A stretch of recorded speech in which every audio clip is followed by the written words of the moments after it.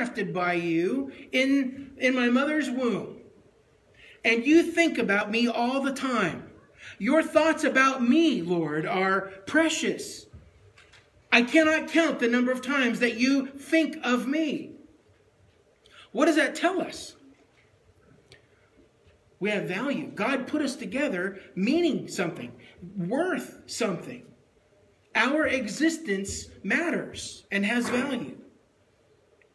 Paul echoes that same kind of idea in Ephesians 2:10. He says there in the New Living Translation, "We are God's masterpiece. We are God's masterpiece."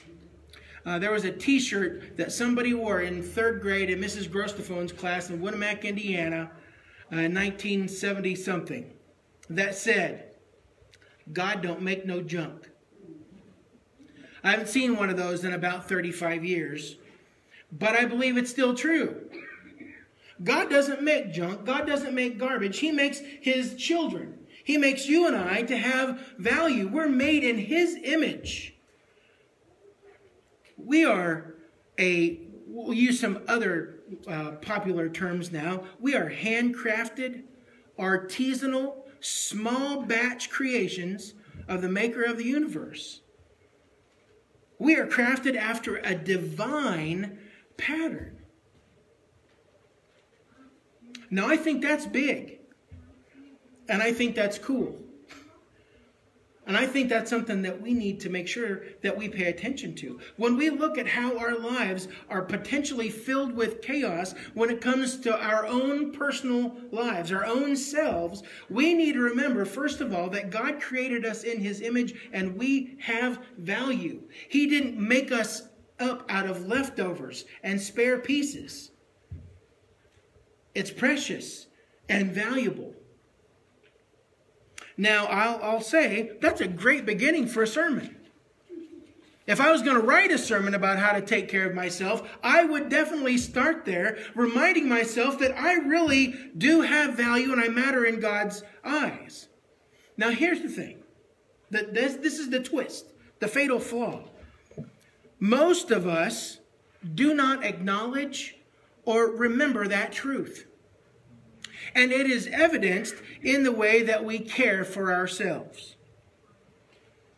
We are hand tooled, we are artfully designed by God, but yet we treat this incredible creation of God with very little thought or care.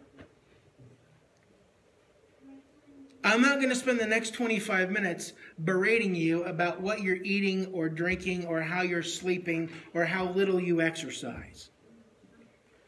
We're just going to throw out one sentence to cover all of that because we all know that it's true. Bad diet, poor exercise, sleep deprived, addicted, burned out, stressed out, worn out. Our lives are constantly draining us. God has this incredible image, this incredible pattern, this plan for our lives, but yet we've managed to drive all of the joy, uh, to, to drive most of the, the, the art and the beauty and the meaning out of those lives. We're not taking care of ourselves. If you have children in your home, whether they're your own or grandchildren or some other small people who are watching, I will tell you that the way that you are caring for your body now is probably the way that those young people will take care of themselves later on. The way parents manage their bodies is the way that kids will manage their bodies as well. I promise you that small children will take care of their temple exactly the same way that their parents treat theirs. And some of you are already thinking, oh no, they'll do way better than I am. They won't act just like me. Where are they going to get that? How are they going to pick that up? Who's modeling that for them? Slim Goodbody is no longer on TV. Three of you know who he is. But there's, there's not really anybody else in their life who's going to show them the right way to care for this beautiful and artistic and incredibly functional body that God has given to them. Managing our health should include managing a variety of areas. Where are we? Where, where are you and I when it comes to our sleep? or our hydration or nutrition? Where are we when it comes to our personal hygiene and exercise? How about our self image and the, the treatment of the medical conditions that we already have in our own lives? Are we actually managing those areas? Or are we allowing them to run amok? Spiraling out of control, faster and faster, farther and farther out of our reach. If we see that our, our self is so very far out of whack it would be very easy to get overwhelmed and to just give up. But if I was going to preach a sermon about this, I would say, don't let that happen. Don't give up. Let's not, let's not give in to overwhelm. Let's consider this instead. If I were to choose to improve any area of my life, which one would make the biggest impact in my quality of life right now. With all the things that are out of control in my life, with all the chaos that there is physically in my life, if I was just going to pick one of those that would have a massive impact on all the rest of my life, which one would it be? Okay, now, we're not just going to name it, we're going to do something about it. Let's focus on that one and make some changes. Don't try to be all girly about this, okay? And try to, to manage 19 things at the same time. Pretend you're all men and you can only do one thing at a time, okay? We're just going to focus on the one. Laser beam on this one issue. Okay? Where, where is the one area where you could have the most impact on your life right now? No multitasking, laser focused. There are some people who would advocate some intensive self care. That's a, a, a, new thing which is uh, really popular right now self care.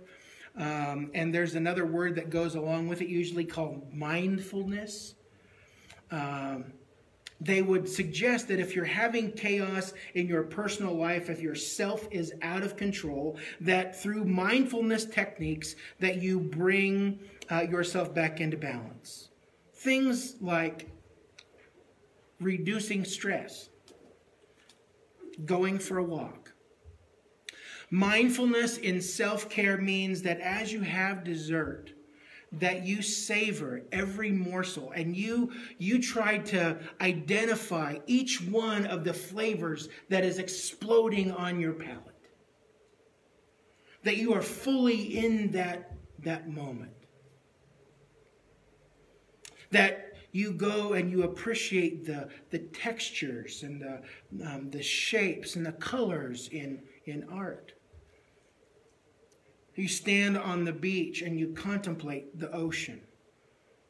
Or as you hike, you wonder at the mountains. Or you go for a country drive and look at the row upon row of crops that are growing. It's all nice. But I think there's a danger in that. What that seems to, to me is that you are just ignoring what the real issues are. For example, let's assume uh, that through some freak accident, probably involving a seven year old, that our geriatric llama is now in the middle of the living room in our house. He looks bad, he smells bad, and he's really not any fun to be around. So, to deal with this ugly, angry llama in our living room, we decide we're going to paint the walls. We're going to uh, put down new flooring. We're just going to go for a walk. We're going to take a five day vacation and pamper ourselves. Joshua is still making llama beans in the living room. Nothing has really been dealt with. I think it's good to give ourselves some breaks like that to reduce stress and to find, uh, to try to find our place in the universe by, by looking at the beauty of nature and the vastness of God's creation.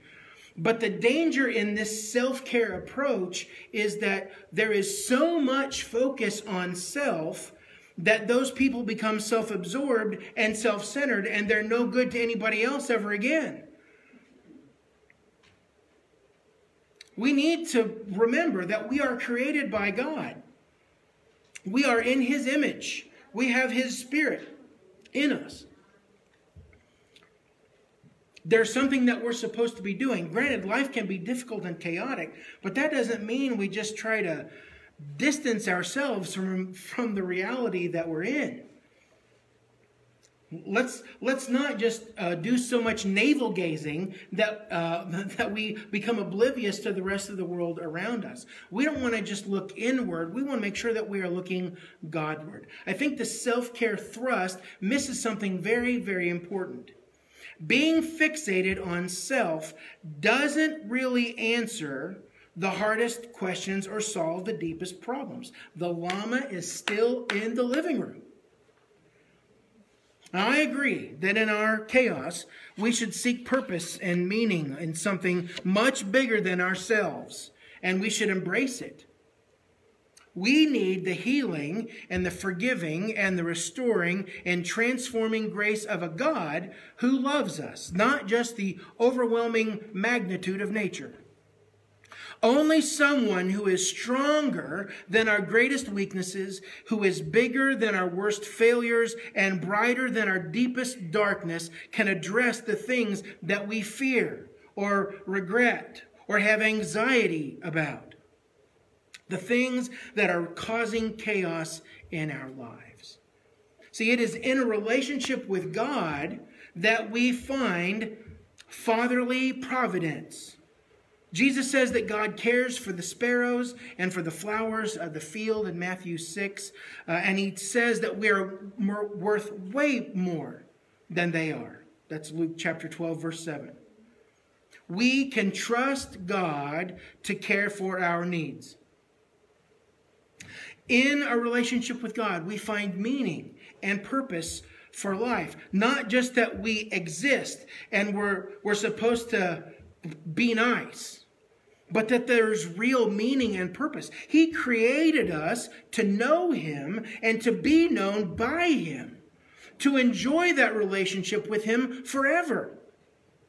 And because God Himself designed you and created you, He has a specific purpose and specific plans for your life. When life is all chaotic and we feel like everything is spiraling out of control in our own selves, we can go for a walk. We can even have some really good dessert. But we need to remember that what we really need most is to talk to our Father in heaven and to have Him bring the healing and the vision and the direction and everything else that, that we need. Scripture gives us some, um, I think, very practical things when it comes to caring for ourselves, for our own physical health and, and our, our own physical needs. Um, there are verses like this one 1 Corinthians 3, verse 16. Do you not know that you are God's temple and that God's Spirit dwells in you? About three chapters later, in uh, chapter 6, Paul says, Glorify God in your body. You are bought with a price. God's Holy Spirit lives inside your body, his temple. And so you really ought to take good care of it. You would never bring a llama inside. Don't even think about doing that. Instead, we need to present our bodies as a living sacrifice, holy and acceptable to God. That's Romans 12 1. We want to make sure that God knows that everything that we are and everything that we have, heart, mind, soul, and strength, all of that belongs to Him. He is to use it as He sees fit. All He has to do is just keep us moving, and we'll go. We do things that are holy, righteous, acceptable to God. Uh, back in the book of Daniel, uh, at the at the very beginning of the book, uh, Daniel and his friends are offered um, some wonderful things uh, from the king's table, and the the answer of these good Jewish young men is, "We don't want to defile ourselves with these things." I think that is an excellent approach for us to take because God's image lives inside us. We are made in His image and His Holy Spirit is in us. We are the temple of God's Holy Spirit. We don't want to do anything that would defile that place and make it unholy. Bad food, bad images, bad substances, bad anything we don't want to defile it. We want it to be used as it was intended. You don't feed the dog on grandma's wedding china. It's special. It's for a, a special purpose. It's not to be used in a disgusting or gross or defiling way. Uh, Paul says in Philippians 4, verse 8, instead of focusing on things that can draw us away, defiling things, he says, whatever is true, noble, right, pure, lovely, admirable. If anything is excellent or praiseworthy, think about such things. And then he says, whatever you've learned or seen or heard from me or received from me, put it into practice. Don't just think about the good things that uh, you've heard. You need to make sure that those, uh, those things have legs and feet, that those are moving around, that they're growing in your life. Let's fill this temple with good things, not with bad things, and then make sure that they're continually being um, watered and, and nurtured. Uh, that's what Ephesians 5.29 tells us. Says that uh, no man hates his own body. Instead, he, he cares for it. He feeds it. He, he nurtures that body just the same way that Christ does the church. We want to make sure that we're doing things every single day that help us to grow in our relationship with Jesus. We want to be closer to Him. We want to be more like Him.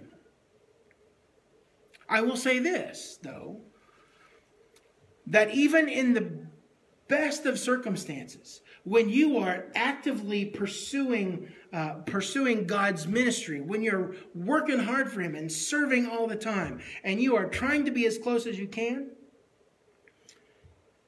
there can still be moments of being overwhelmed. What are you talking about, James? Remember old Elijah? Elijah had this idol worship showdown on the top of Mount Carmel. 850 prophets of false gods. They sang and they danced and they cut themselves and they bled and they sang and they danced and nothing happened all day long. Elijah said, Now it's my turn. And he called down God, the God of Israel, to do something. And he did. And God showed up in a huge way. And all the people saw God show up in a huge way. Idol worship was effectively eliminated at that moment. And on top of this, this mountaintop experience that Elijah, the prophet, had with God, you know where we find him in about 15 minutes after he got off the mountain? Oh man, I wish I was dead. I'm the only one. What am I going to do? even in great moments of, of ministry success and spiritual success, we can still get drained and we can still feel alone and distressed. And God didn't say, You little twerp, what is wrong with you? You're out. You're fired. Bring on the next guy. No. God propped him up and he gave him some food and he gave him some water and he let him rest. And then he brought him some food and he brought him some water and he let him rest. God provided for his needs. God restored him. And eventually Elijah went on um, to an incredible experience with God on, uh, on the side of the mountain. God restored him even when he was broken. God wants to restore people. He doesn't get down on them and angry at them for their failures when they are earnestly and intentionally seeking direction, when they really uh, have, have a broken heart about the way that their lives are, God brings restoration. Jesus didn't say, All you people who are making mistakes and screwing up, go away from me. All you people who don't seem to have quite enough faith because you're depressed or you're having anxiety, you can't sleep at night. You're, you're drinking way too much. You're medicating yourself with food. Whatever it is that you're doing, he doesn't say, get out. Go away. You're a disappointment. Instead, Jesus says, come. Come. All you who are weary and burdened, I will give you rest. Take my yoke upon you and learn from me for I am gentle and humble in heart, and you will find rest for your souls. For my yoke is easy and my burden is light. Jesus does not intend for you to continue feeling like garbage because your life is not going the way that you want it to. He does want you to come to Him to find direction and peace and meaning and purpose and healing and restoration. That's what he wants. So on my notes here, I, I made a little a little point to say something like this. So let's work harder at caring for our own bodies, minds, and souls this week. That seems a little contradictory to what we've just been talking about. I don't know if you need to work harder at it. I, I do believe that you need to take a real good hard look at the way that things are. Why can't you sleep? Why do you think you have no appetite? Why do you think your appetite is out of control? Is there something underneath the surface that you need to get some help with? Let me urge you find some help. Your pastor would love to talk to you. If you need a referral for something that's a little hairier and scarier than I'm comfortable dealing with, I, I got names. We'll find a way for you to get the help that you need so that you can be whole and healthy physically, mentally, spiritually. Don't believe that this is all on you. Now, some of it may be. You might need to work harder at just turning out of the pantry, going outside, or shutting the ice cream freezer door. That may be the deal. That you don't buy another package of cigarettes or another case of beer or whatever. That is on you. He, he wants to bring healing to you. He doesn't want you to live in chaos physically. And Third John, uh, there's a, a, little prayer from uh, from John that I hadn't paid much attention to until a friend mentioned it a couple of months ago. It says there, I pray that you may enjoy good health and that all may go well with you, even as your soul is getting along well. You ever heard that verse before? Let me read it again. I pray that you may enjoy good health and that all all things may go well with you, even as your soul is getting along well. That's my prayer. I want you to do well emotionally, relationally. I want you to do well physically.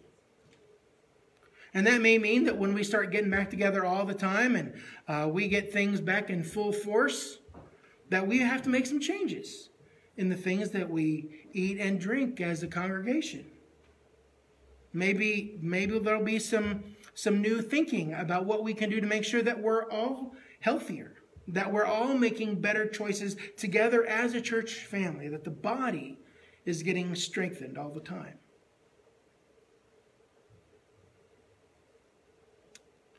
Let's pray, and then uh, we'll move on to some thoughts about the Lord's Supper. If you're uh, if you're out watching us this morning online, uh, let me encourage you to take a moment here to uh, to grab uh, the communion elements. you'll be ready with us to partake in just a few moments. But let's let's pray right now, Father.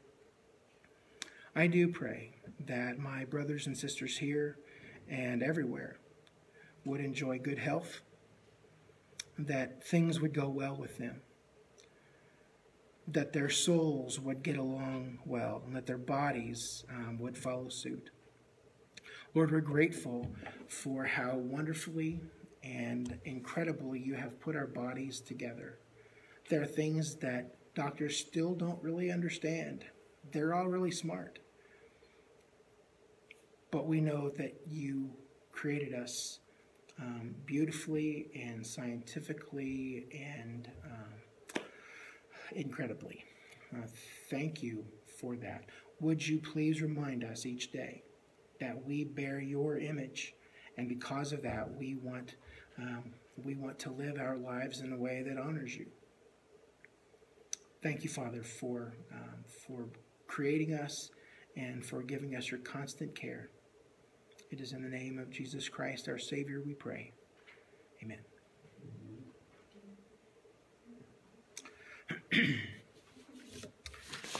The Lord's Supper um, keeps our faith strong. We've talked a little bit now this morning about keeping our bodies healthy and strong. The Lord's Supper, communion, helps us to keep our faith strong by reminding us on a regular basis that it is Jesus who has made forgiveness possible. Now, when we're together uh, for communion, we often use uh, a few moments of silence to think back on the past week, to recount mistakes that we've made, uh, failures that we've given into, sin. We, we remember how far we have fallen. I would caution you to follow Jesus' own words. He says, that's burned right there in the front of the table. Every communion table in North America had the same words Do this in remembrance of me. It's probably significant that it doesn't say, Do this in remembrance of your sin. Do this in remembrance of your guilt. Do this in remembrance of your failure do this in remembrance of me. Now, it is not wrong for us to reflect and, and to examine ourselves, but let's not forget that this meal, this bread and wine, is his meal. And it focuses on his life and death and his sacrifice and his forgiving nature, his grace and his mercy. We do this every single week in remembrance of me to keep Jesus before our minds and hearts constantly. We do not want to lose our connection to Jesus, the one who has made everything possible for us. So as you wait today for the emblems to come to you, and before we all partake together in just a few moments, you can think about your sins. But remember that they are under the blood of Jesus, and because of that, you will have eternity with Him. Man, if you'd like to go ahead and distribute those.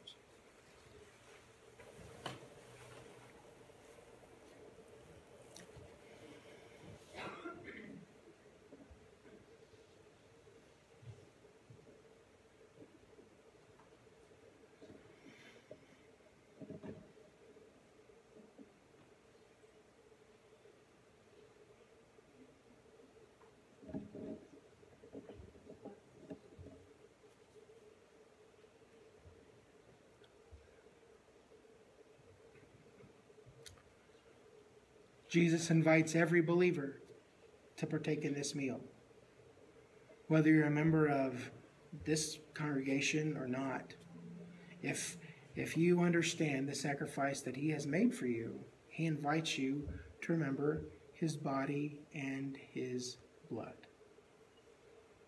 So if you uh, will, uh, will have those elements ready uh, in just a moment, we'll partake together.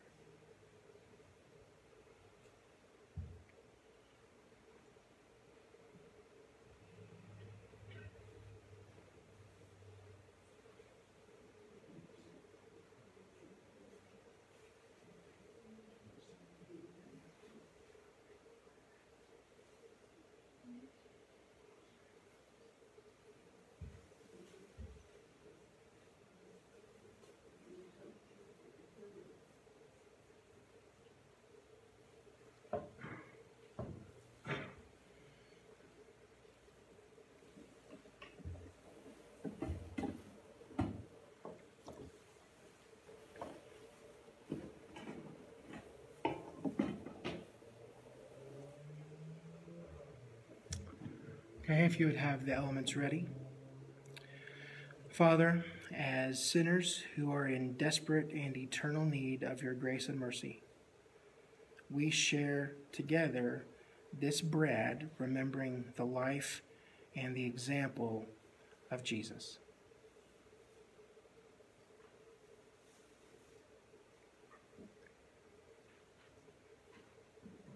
Lord, together we share this cup remembering the forgiveness that you grant through the shed blood and death of Jesus.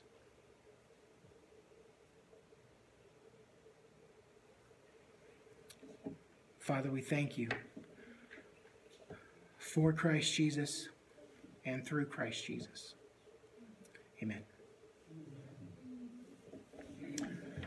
I'm very glad uh, that you were able to be here with us today, uh, both live in the building and uh, way out there, wherever you are.